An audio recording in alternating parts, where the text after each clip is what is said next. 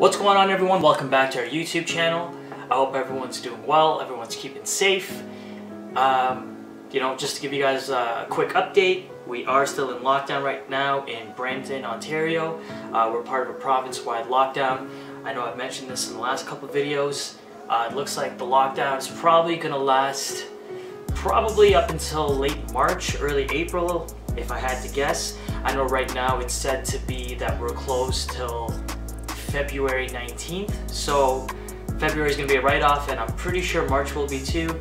But I'm not mad about it because as you guys probably already know, Maddie and I are expecting our first baby. Our baby girl is due early March. So we're super stoked for that and just patiently waiting her arrival. So, um, you know, that's been keeping us busy, uh, just getting ready for her. But for today, I thought I would do a little product review for you guys. Um, if you guys haven't already guessed it, it's on the Dyson Supersonic Blow Dryer. Um, I've mentioned this product in some of my past reviews. I did a what's in my toolkit and um, this was one of the products that I had uh, made an honorable mention about. But today I wanted to give it its own video and just really break down the blow dryer for you guys and why I love it so much. Um, I'm going to talk about the pros, To talk about a few of the cons. There really aren't many. I'm pretty sure there's only one that I'm aware of. But uh, nonetheless, I'm to, you know, just dive in there and give you guys all that information. Um, it's a little late. This, this blow dryer has been on the market now for a little while. I purchased it about three years ago, and I think it was uh, maybe a year or two prior to that, but they've actually uh, re-engineered it, they redeveloped it a bunch of times, um, and this was their professional version of it. Uh, the only difference from this one and the consumer version, to my knowledge, is um, the magnets are stronger on the blow dryer, uh, the cord is a little longer, and then the color, which you have like the light gray and the dark gray on the body of the blow dryer. But other than that, it's um, it's it's virtually the same thing. But um, we're gonna get right into it, guys. So here we go. We've got the Dyson Supersonic blow dryer. This is the box. Uh, you see the blow dryer here with the three attachments. It's got the precision styler um, nozzle. It has the wider concentrator, and then it has the diffuser. Uh, so here they all are. These are the parts right here. You got the diffuser, um, you have the wider nozzle, and then you have the precision styler. This is the one that I use the absolute most. It's got the really narrow opening at the bottom there. Um, and uh, what else do you get in the box? Um, you get this really cool brush. I mean, this this is why you love. I, I love Dyson personally. Um, their products are phenomenal. The innovation is out of this world, and I feel like they really think of everything. So, um, start. Actually, before I get into all of that, I just want to give you guys a little breakdown on blow dryers. Most of you probably already know this. Some of you may not, but blow dryers really haven't been reinvented since the 1960s. Um, they've kind of been just kind of producing them the same way up until Dyson came around and just flipped the game around. Um, for the most part, blow dryers, conventional blow dryers, the engine of the blow dryer was on the top of the blow dryer. So it was top heavy for an extremely long time. Um, that's kind of just how manufacturers were developing them. Problem with that is, is that there's a lot of fatigue on your hand. Now, if you're a hairdresser or a barber, uh, mainly a hairdresser, you're using the blow dryer quite a bit, especially because you know you're cutting, you're blow drying. Um, you know, you do color treatments. You're gonna have to blow dry the client. So this is this is a tool that is used on a daily basis, uh, day in day out. So it's gonna get a lot of use. So you want to make sure that you're protecting uh, your bread and butter, which is you know your hands. That's what's gonna make you your money, right? So you need to to take care of your hands and your body overall. But uh, to start, you know, gotta go with the Dyson blow dryer. So how they've innovated the whole game is they've actually taken the motor from the top and they've placed it in the handle. So it's no longer top heavy. It's actually, it actually has a very balanced weight to it, which I really like. Uh, and I'm sure a lot of people that use this product, that's what they really like as well. Um, you no longer have that fatigue on your wrist.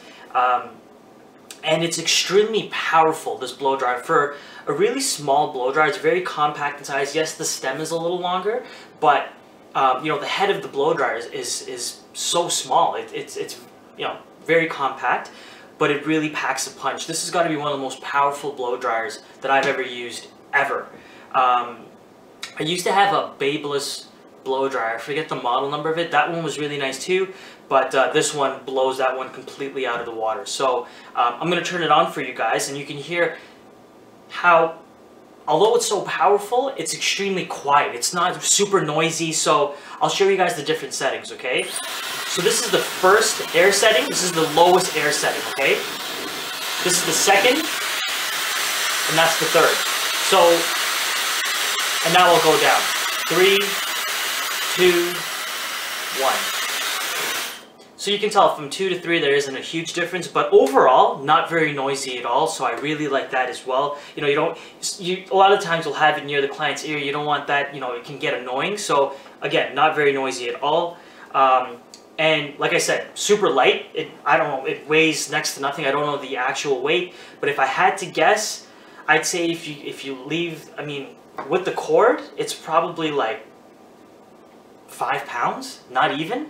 Um, so yeah, there's that. So you have the attachments, which I mentioned. Uh, you got the wider nozzle, you got the precision one, and then you have the diffuser. So now again, innovation at its best most conventional blow dryers for the longest time just have these plastic pieces that you you know you you slap onto the machine and then um, they're usually just in a fixed position if you attempt to turn them which you can typically you'll end up you know burning your hand off because the thing is super hot and it's just really it's just really annoying because a lot of the times it won't you know you have to wait for the nozzle to cool down for you to turn it um, also with those old school plastic pieces. You know, you put them on, and like my wife Maddie, um, you know, you turn on the blow dryer. Hers will just shoot right out of the blow dryer, especially if you have it on the highest um, air setting. The the plastic nozzle, and a, a lot of our clients can attest to this. I'm sure they've seen it happen.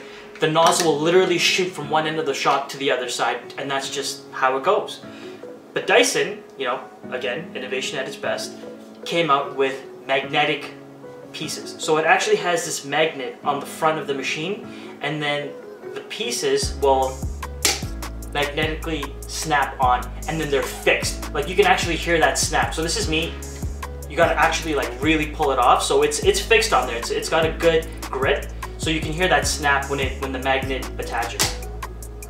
And then what's what's amazing is I'm not sure if this is like a plastic or a carbon, but whatever material that these uh, attachments are made out of, they're very, they're easy to turn. Like you can see how easy that is to turn. And I'm sure a lot of hairdressers and barbers can attest to this, that you know, the old school blow dryers, when you would fix the piece on, it was really hard to turn them. Whereas with this, with ease, you can just turn it. You're not gonna burn your hand, even if the blow dryer has been on, um, on whatever heat setting. Typically, it doesn't heat up horribly, like where you're gonna burn your fingers. It's very easy to just turn them. So same thing goes for the diffuser snaps on, pull that off, and then you have the wider nozzle.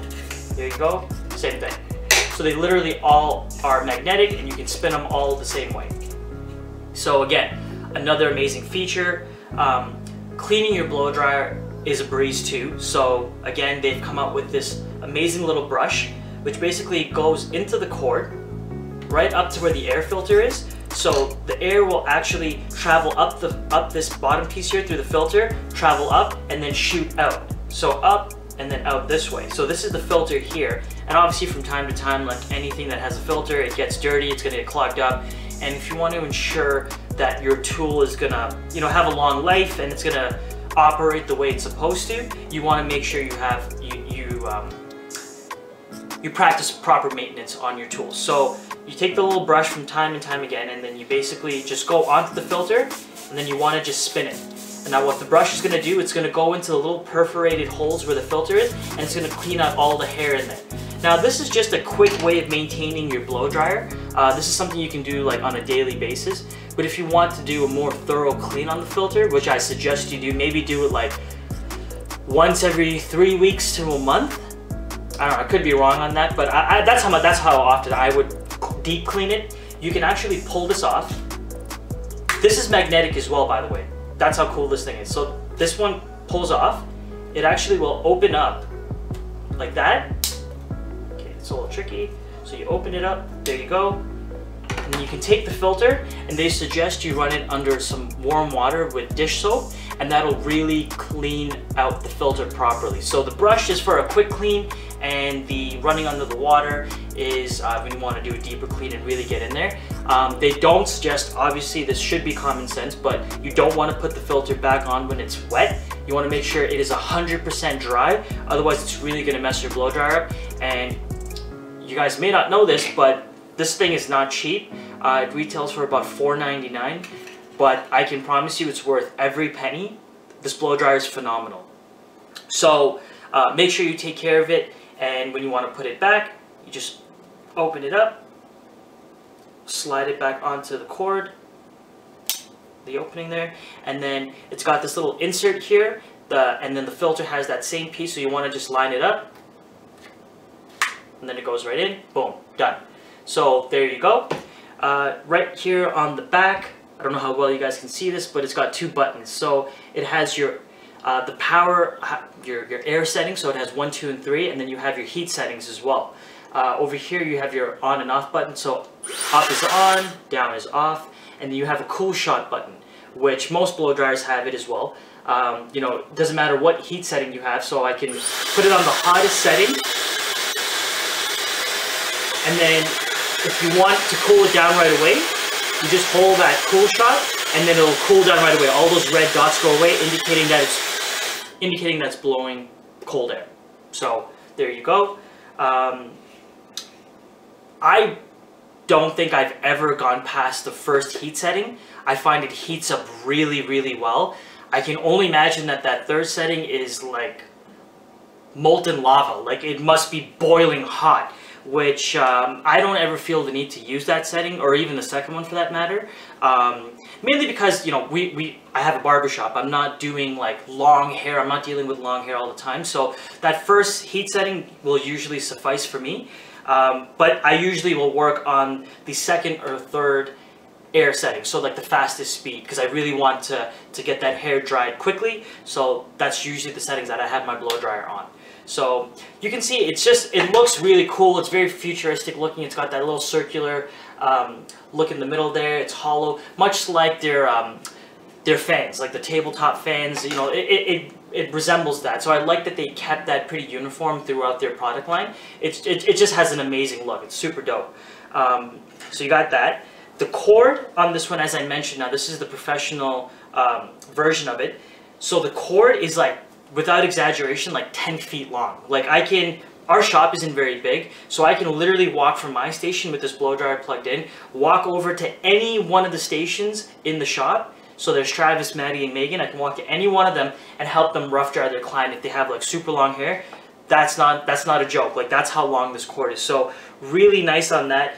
Um, I find the cord doesn't really tangle up the way other blow dryer uh, cords get tangled up. So I love that. That's one thing that is just super annoying. Again, I'm sure a lot of hairdressers and barbers can agree with that. So that's really cool. Um, and then also in the box, what I didn't realize up until five minutes before I shot this video, I opened it up, and I guess I must have not noticed this when I first purchased it because I was so excited, but it has this anti-slip mat, so you just kind of, you know, you can open it up. If you have a flat surface, um, you just open up the mat, place it down, and then it's an anti-slip mat. So you place your blow dryer on there, so you know it's not going to slip off um, uh, a flat surface and then crack on the ground and break. Again, you want to take care of your tools, so use the anti-slip mat if you're working with a flat surface. It also came with an extra air filter, uh, which I thought was really cool. Again, I didn't notice that up until five minutes before filming this, uh, so that was pretty dope. And um, the cons.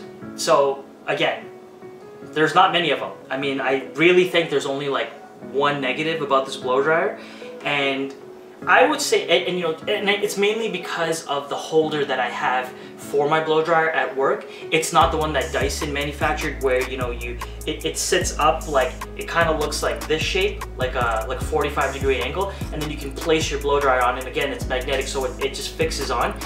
Uh, for my setup at work, that wasn't gonna work for me, so I purchased uh, an aftermarket one off Amazon for like 50 bucks.